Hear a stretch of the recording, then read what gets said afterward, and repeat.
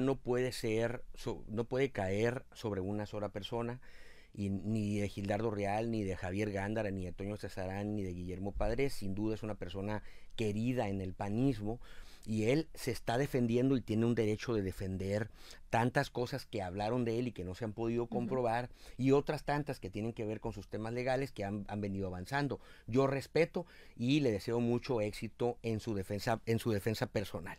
Ahora, el PAN va mucho más allá, va mucho más allá de, de un tema o de una acusación. Yo hablé de los beneficios. El PAN, el PAN en el que estamos representados es en el PAN que le ha dado beneficios a la gente. Ahorita abrimos la llave del agua y tenemos agua porque está el acueducto Independencia. Vamos al béisbol a disfrutar de la Liga Mexicana del Pacífico y en, y en Obregón el, el, tema de los yaquis en el, en el estadio, porque el gobierno del PAN hizo eso.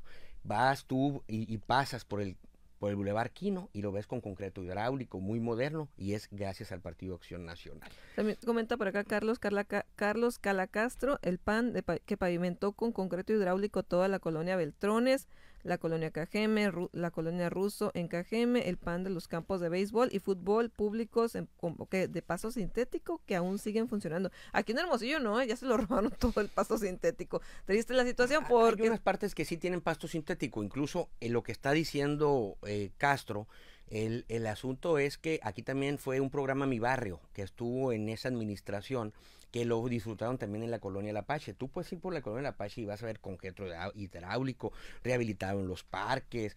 Fue un programa de cirugía mayor a muchas colonias que estaban muy abandonadas. En el caso de La Apache nació como una invasión y ahorita disfrutamos de todos estos beneficios. Es decir, yo, yo la verdad es que me merece respeto. El...